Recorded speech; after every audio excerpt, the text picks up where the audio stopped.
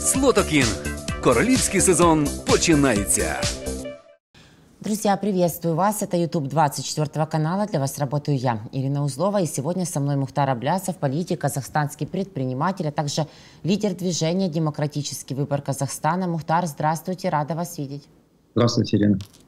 Россия практически всю неделю кошмарит и терроризу- терроризирует юг Украины, Одессу. В ночь на 23 июля, в этот день, когда мы с вами делаем интервью, запустили россияне, террористы, снова ракеты, целый такой ракетный коктейль и микс, просто таки 19 ракет разного типа, разного вида базирования. В нашем офисе президента Украины, в частности, Михаил Подоляк и Андрей Ермак отмечают, что Россия демонстративно уничтожает Одессу, разрушает портовую инфраструктуру, убивает гражданских. Мы с вами понимаем, осознаем, что делает это все Россия в рамках своего зернового террора и шантажа после демарша зерновой инициативы. И вот э, Подоляк отметил, что Россия желает окончательно уничтожить зерновую сделку, закрыть для Украины любой выход в Черное море, запугать терроризмом. А Что делать, говорит он, спрашивает, выйти из политической прострации, ускорить поставки средств ПРО, защитить зерновые коридоры и портовую инфраструктуру и перестать считать, что есть иное решение, кроме безусловного проигрыша Российской Федерации. Э, Цели России очевидны, а какой выход видите вы из сложившейся ситуации, из сложившегося террора, которым Россия пытается не только лишь, видимо, зерновую сделку сорвать, а еще и усадить Украину и Запад за стол переговоров в дальнейшем? А, В прошлом эфире я прогнозировал, что а, Путин будет вынужден подписать зерновую сделку и аргументировал его а, конкретными цифрами. А, Я хотел бы сейчас их напомнить, чтобы понимать, а, соответственно, почему это может и должно произойти. А, Торговый оборот между Турцией и Россией за 2022 год вырос на а, 84% и составил 60 62 миллиарда долларов. Это первое. Второе, я в этом эфире говорил, что э, на кону у Путина следующее. Дело в том, что э, 150 миллионов тонн нефти российской идут через Босфор, проливы и Дарданеллы. Это где-то, если по текущим ценам посчитать, приблизительно э, около э, 75 миллиардов долларов. Одним словом, а, Транзит разных грузов через пролив Босфор а, и Дарданеллы таков, сумма его исчисляется минимум 150 миллиардов долларов. А сама зерновая сделка, хотя там э, российские пишут, что сделка порядка 5,5, но это, по моим оценкам, около 10 миллиардов долларов. Итак, у Путина на кону стоит 150 миллиардов долларов минимум оборот, э, связанный с деятельностью и взаимоотношениях с Турцией. И второе, на кону это 10 миллиардов долларов. Конечно, он бы, э, скажем, хотел бы, чтобы вообще этой зерновой сделки не было. Ему это невыгодно. Но я показывал, что здесь есть инструмент давления очень сильный. И ясно, что э, Запад сейчас, я поддерживаю позицию подалека, должен продемонстрировать, что у него эти рычаги есть. Они действительно есть, и здесь э, необходимо оказать давление на Эрдогана. И этот инструмент всегда работал. Просто до последнего момента Путин считал, что инструмент этот будет применен, а сейчас он, увидев, что э, есть э, вся- всякого рода разногласия, как среди НАТО и Украины, это мы видели на заседании НАТО, перед заседанием НАТО, а Дальнейшее заявление президента Чехии Павел, он вообще сказал, что у Украины окно возможности до конца этого года. То есть Украина должна продемонстрировать свою силу, организовать контратаку, что если они не сделают, Украина не сделает всего этого до конца года, то ну, дал понять, что будут другие э, последствия. И мы все прекрасно понимаем, что имел в виду Павел, а это добиваться, чтобы Украина уже пошла на переговоры с Россией. Вот, собственно, то, что озвучил, то, что в кулуарах звучало между лидерами стран НАТО, озвучил Павел, его специально, по сути дела, что называется, э, выступили неким голосом этого НАТО. Вот. И, собственно, Путин, когда увидел, что есть ра- разногласия, что Запад, скорее всего, сейчас колеблется, и что внутри есть разные силы, которые говорят, что надо с Путиным договариваться, что Путин сильный. Начал, собственно, это привело к тому, что Путин почувствовал, что зерновую сделку можно потопить, потому что ему сейчас пока не демонстрируют силу. Тот же Эрдоган, обратите внимание, он заявил, когда э, ну, вопрос возник, что Россия не будет продолжать эту зерновую сделку, он заявил, что тогда военно-морские силы якобы э, Турции обеспечить безопасность грузов. Но вы видите, что буквально сразу же после того, как началась атака на э, сторону Одессы, э, Путин стал закидывать ракетами, он примирительно сказал, что вот Путин к нему приедет. Да-да-да. Э, и мы да. поговорим и рассчитываем, что этот разговор, э, в принципе, будет эффективным. Э, он будет эффективный при условии давления со стороны Запада. Инструменты давления есть, и вот то, что Подоляк говорит, это абсолютно правильно. Это интенсивная военная помощь, первое. Но кроме этого, э, необходима серьезная дипломатическая работа с Эрдоганом. Угу. Вот тогда зерновая сделка состоится. Она неизбежно состоится. Если сейчас, э, скажем, как Украина, так и Запад не проявит последовательность, Путин свой коридор расширит коридор своих возможностей. Он тогда скажет, да, Запад меня боится, вот я, оказывается, могу безнаказанно бить по порту, по Одессе, а, разбивать зерновую сделку, и мне за это ничего не будет. Тогда вот тогда зерновая сделка закроется. Я видел заявление а, Евросоюза, которые говорили, что мы пойдем типа железнодорожным и другим маршрутом, не будем использовать морские пути. Это для Путина будет как победа. А, это будет для Путина как победа и ослабление Запада, ослабление Украины. Это он будет воспринимать, что вот можно и дальше оказывать давление. Коридор по времени президент Чехии сказал до конца этого года. До конца этого года он будет атаковать, кидать ракеты и, собственно, создавать ситуацию переговорную, выгодную для себя. Вот для чего он это сейчас делает. А, Путин еще помимо этого, э, помимо этого террора, у него еще требования есть, там пять требований, их уже не первый раз озвучил вначале ООН, потом их озвучивает заместитель постпреда Российской Федерации при ООН, где тоже э, этот вопрос выносился на обсуждение, но кроме решительного беспоко э, беспокойства мы, конечно, ничего не услышали, а как всегда, собственно говоря. И вот в этих требованиях это подключение банков к SWIFT, возвращение, в частности, также ослабление санкций, Путин Путин требует, хочет и думает, что это а, увидит. Он хочет, чтобы заработал аммиакопровод. Ну, там так немало требований. А он рассчитывает, что, что кто-то пойдет а, ему навстречу или для чего он их выдвинул, понимая, что, в принципе, это нереалистично. А, это же торг. Собственно, и Путин организовывает торг, а, выигрывает, хочет выиграть что-то. И Эрдоган тоже разыгрывает эту ситуацию, тоже своеобразный торг. И сейчас Путин выставил, ранее было 5 требований, сейчас выставил 7 требований. И э, ну, на самом деле для того, что он делает, э, например, он требует свит для Россельхозбанка, э, в этом нет необходимости, потому что есть у него другие банки, э, проходила же до этого экспортная операция, экспортная операция э, российских предприятий э, через другие банки. Это он, что называется, выставляет требования, прощупывает позицию Запада. Но там э, ООН уже заявила, что давайте мы, э, эта позиция была Евросоюза, давайте мы дадим возможность проводить операции и откроем SWIFT для дочернего банка Россельхозбанк. Это тоже шаг назад. Это, скажем, Европа в этом случае показывает свою слабость. И Путин, когда видит, что Европа отступает, ну, понятно, она согласовывает позицию и с Америкой, то тогда есть возможность шантажировать, требовать больше.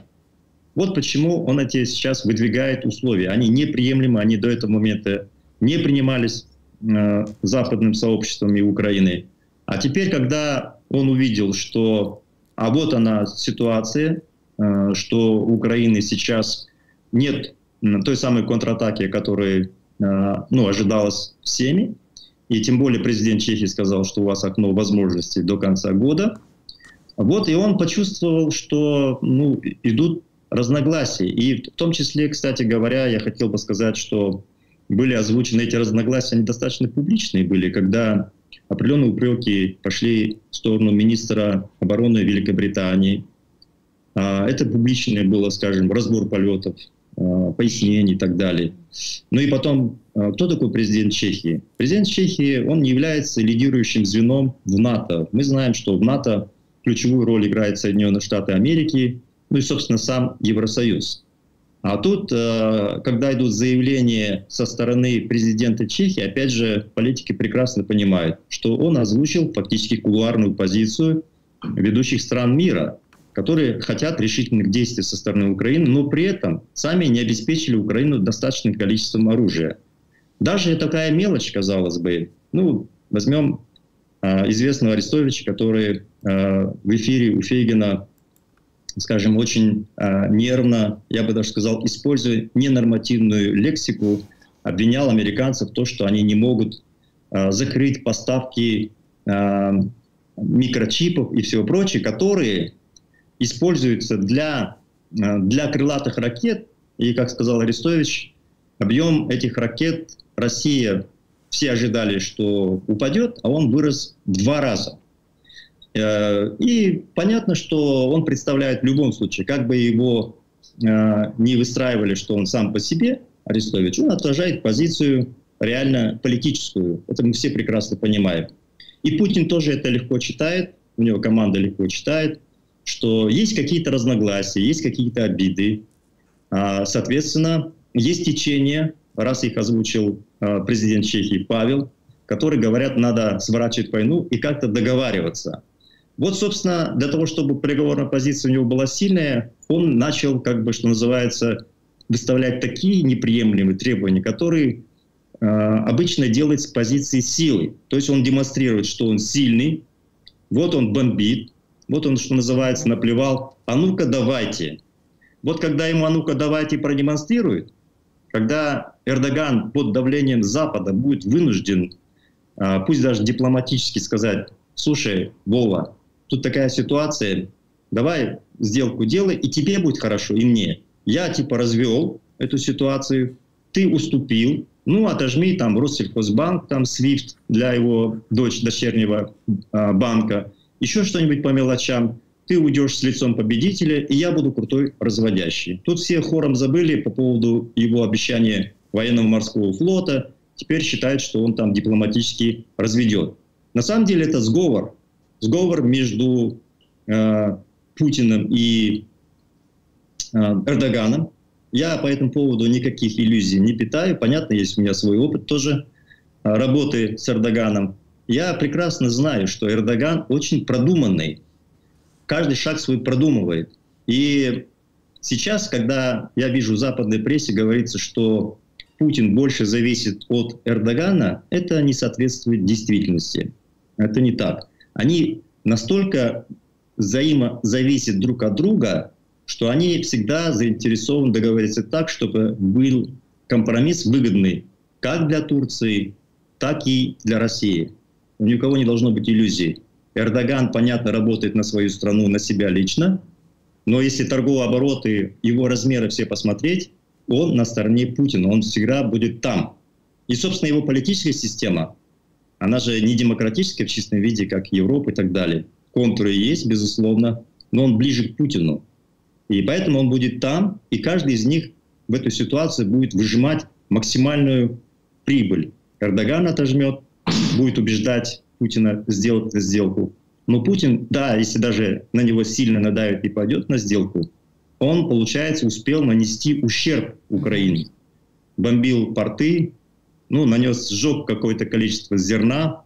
То есть он из этой ситуации, по сути дела, выйдет с плюсом. Вот цена вопроса, то, что когда он увидел, что есть определенные разногласия между, э, скажем, западным сообществом и Украиной, он этим воспользовался. Вот он выжил из этой ситуации и выжимает, и будет выжимать дальше. А кто должен надавить на Турцию? И вообще, может ли кто-то это сделать? Кто надавит Турцию? Ну, кто да. надавит на Турцию? Ну, смотрите, а, на Турцию вообще легко давить. Я в прошлом эфире говорил, что Эрдоган сидит на нескольких стульях ровно столько, сколько ему позволяет. А, обратите внимание, как э, произошло все решение по Швеции. До заседания НАТО сколько шума было, что все, он не даст и так далее.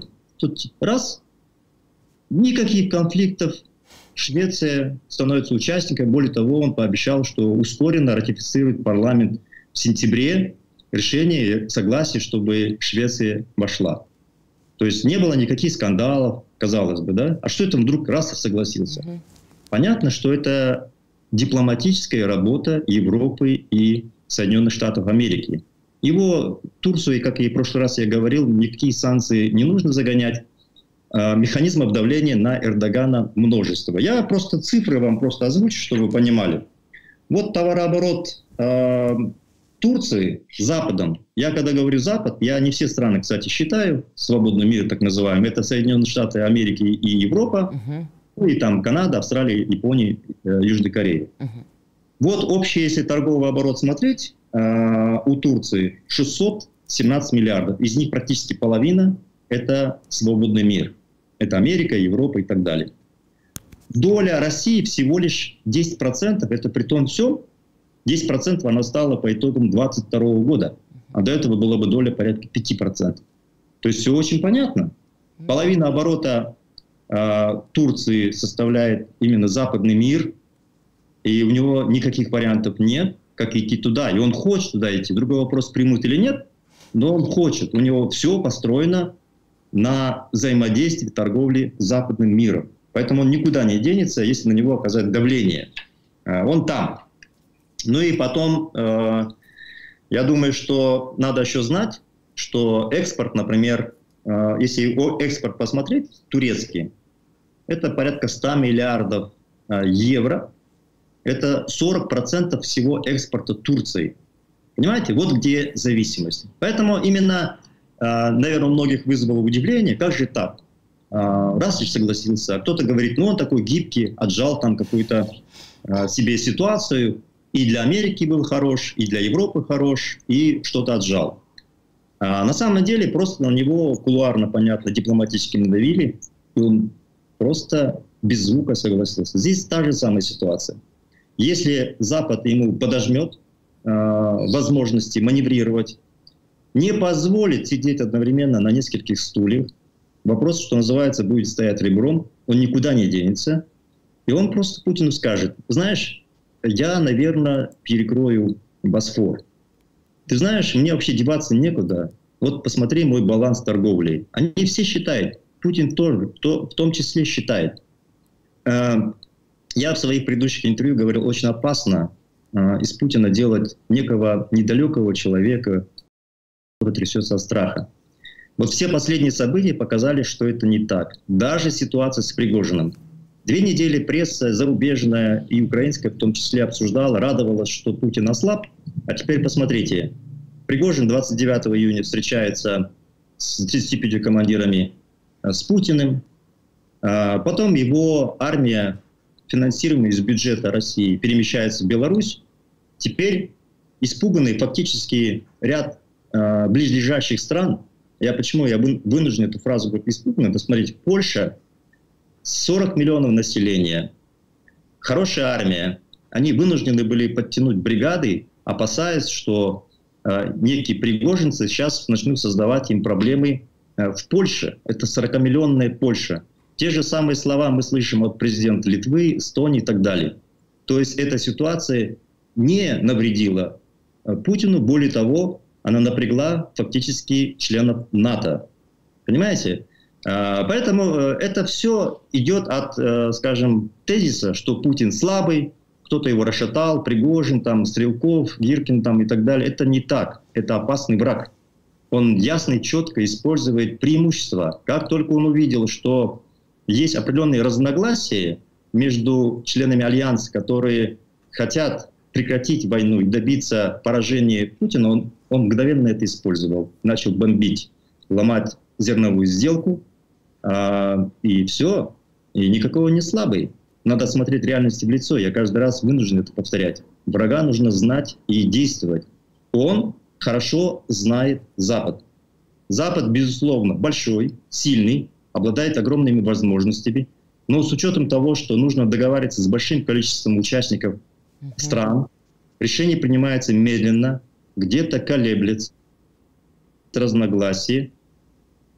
И как только эта ситуация возникла, он воспользовался. Мухтар, у нас пропадала связь, но а, возобновилась. И, в принципе, до слова воспользовался, было все нормально. Поэтому идем дальше, хорошо? Хорошо. А, а вот а, Подоляк отмечает, что должны перестать уже считать в западном мире, что есть иное решение, кроме безусловного проигрыша Российской Федерации. Но мне кажется, что далеко не все считают именно так, что есть а, только это решение, безусловный проигрыш. А кто-то еще продолжает думать, что, возможно, таки и поговорить как-то выйдет. Понимаете, здесь э, надо всем, что называется, дефиницию уточнить. Э, кто что понимает по словам проигрыш. Ну, да. ну например, э, я вижу позицию там украинского руководства, что если мы или когда мы выгоним э, Путина с территории на 23 февраля и плюс вернемся, точнее говоря, к границам 91 года, это значит Крым возвращается в Украину, считается, Путин проиграл. Это одна позиция. Вот. Э, но это на самом деле не так. Так не получится, это же очевидно. А, потому что, ну, опять же, и на Западе, я думаю, это хорошо понимают. И в этом причина вот э, всех этих, скажем, задержек по поставкам оружия, о том, что кто-то хочет договориться. Потому что очевидно, что Путина даже если выгнать со всех территорий Украины, включая Крым, а это будет непросто, а, то война не завершится, потому что Украина, получив западное оружие, получается, не может отвечать а, России западным оружием. А если Путин не остановит войну, будет продолжать войну, что тогда делать?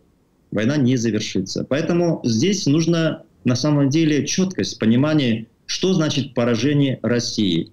Я знаю, э, ну, скажем так, я, понятно, общаюсь с разными людьми, в том числе и с Украины, достаточно высокопоставленными чиновниками. И существует такое мнение в Украине, что как только мы его выгоним, там начнутся процессы. Первое, население выйдет якобы на улицу, а, какие-то процессы пойдут в армии, генералы якобы начнут разворачивать свои войска, ЧВК там якобы а, создано их много, типа Пригожина, они будут противоречия так нарастать, что, собственно, э, Путина свои же... Вот такая вот позиция. На самом деле это понятно, что этого не будет. Почему понятно? Потому что для того, чтобы такие события произошли, именно были беспорядки э, в армии, э, для того, чтобы население выходило на протесты, нужно серьезное ухудшение экономики.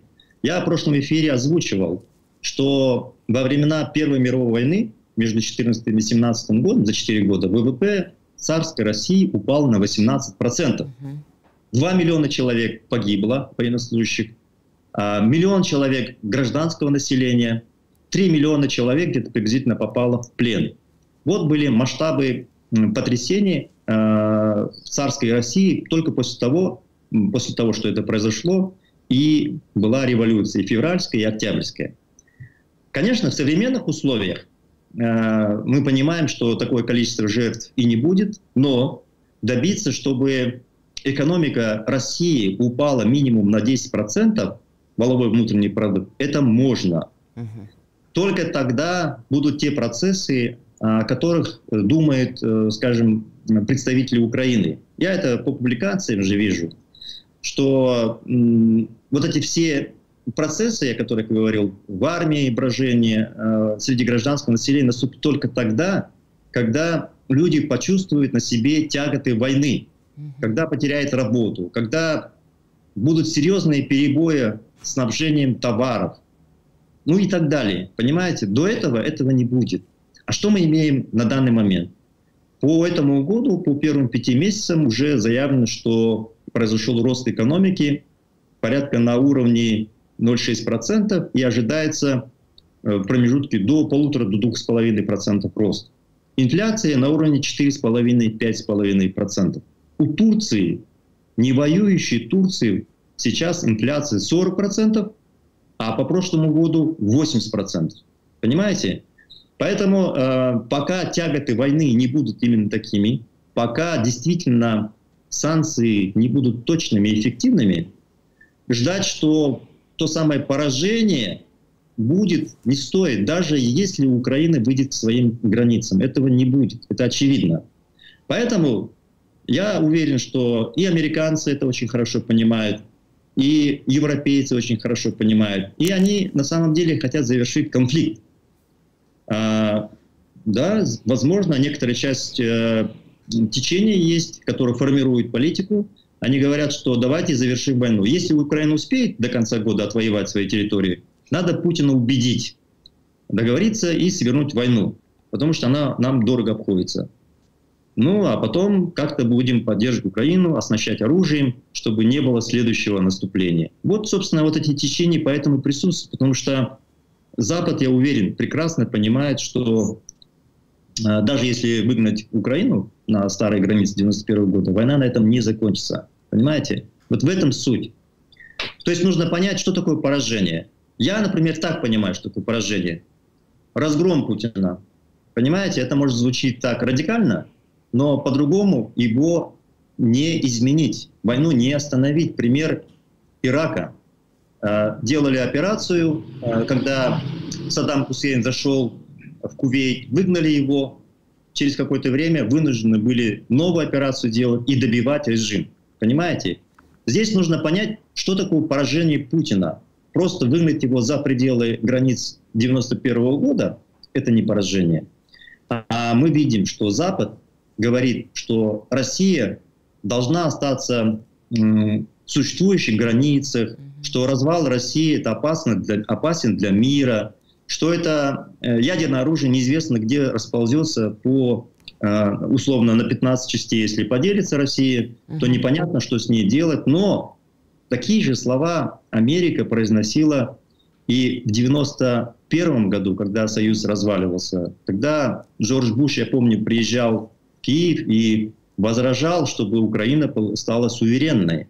Они не хотели, чтобы Советский Союз расползался и тоже боялись угрозы, вот, что ядерное оружие расползется. Ну ничего же, 15 республик, грубо говоря, вышли из состава Советского Союза, ничего не случилось. Вот в чем проблема. То есть нужно понять, что такое поражение России. Когда западный мир четко поймет, что поражение, действительно уничтожение этого режима, как, собственно, было с Гитлером.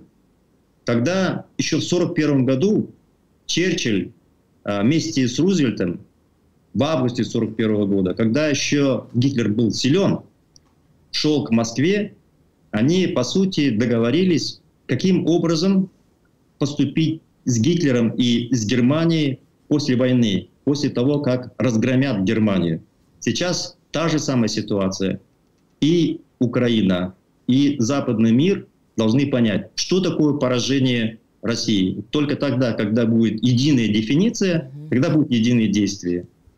Сто процентов. Только и подумала, слово действия вы э, таки озвучили. Ну да, тогда будет эта э, дорога такая совместная в одном направлении. Э, пока не расползлось ядерное оружие по территории России, но расползлось оно частично тактическое на территории Беларуси. По крайней мере, CNN, э, посылаясь на американскую разведку, которая раньше говорила, что не видит этого перемещения, теперь говорят, есть таки тактическое ядерное оружие уже на территории Беларуси. В Министерстве иностранных дел Российской Федерации говорят, что не будет будет никакого э, иметь э, Лукашенко прямого влияния, ядерную кнопку эту пресловутую, так сказать, ему не дадут ею пользоваться. Сам Лукашенко приехал сегодня в Россию с двухдневным визитом, он там прибывает, привез туда полсемейства, какую-то карту опять привез, нападение демонстрирует, ну и на вагнеровцев, которых мы уже тоже упоминали, пожаловался, говорит, то ли говорит, то ли угрожает, что, мол, они меня напрягают, цитирую Лукашенко, они хотят там идти на Варшаву, идти на Жешув, по данным наших приграничных пограничников, 5 тысяч сейчас пригожинских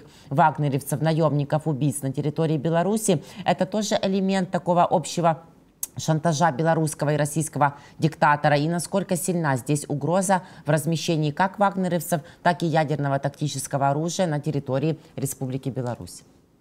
А вот когда в прошлый раз мы обсуждали зерновую сделку, а, я как раз излагал свою позицию. Если он откажется, то тогда он просто повышает ставки. Да. Сейчас он повысил ставки, и если ему адекватно не ответит Запад, а именно начнет грузить зерно по железной дороге, не заблокирует Босфор или какие-то другие действия, угу. то Путин будет воспринимать, что он сейчас тактически выиграл. И тогда следующее, а, то, что у него тактическое ядерное оружие находится в Беларуси, он будет говорить все время, риторика будет угроз, что он готов ее применить. Собственно, а, понятно, когда Лукашенко сказал, что вагнеровцы хотят погулять на Западе, это прямая угроза Западу, прямая угроза. И это все он будет делать до тех пор, пока не получит ответные действия.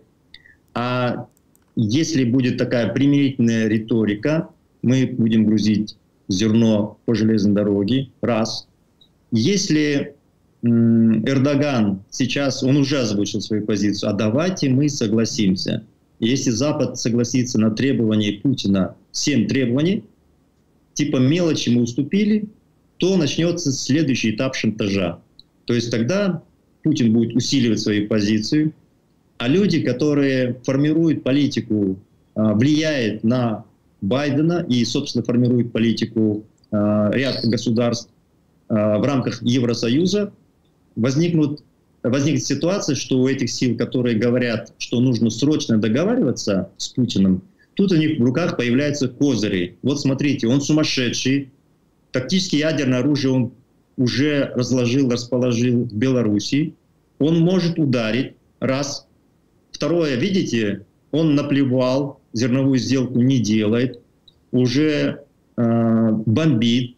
И если мы там сделаем грузовое сопровождение военно-морскими силами даже Турции, это прямое ядерное столкновение, что якобы Путин готов, но мы не готовы. Вот, собственно, сейчас, я думаю, как раз та самая ситуация. Ставки подняты, если на них не будет ответа, то можно считать, что Путин тактически выиграл. И тогда он будет наращивать свое влияние до тех пор, пока не упрется в стенку. Пока ему никто стенку не ставит. А, а ему надо ставить стенку.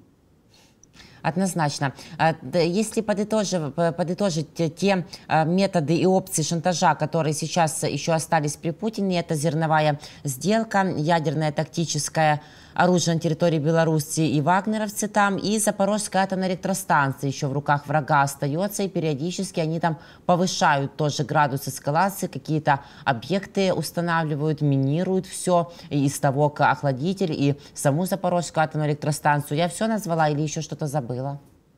Ну, видите, у него есть самая главная дубинка, которая является фактически э, ну, наверное, инструментом самого главного. Она спрятана, и все знают это ядерный шантаж.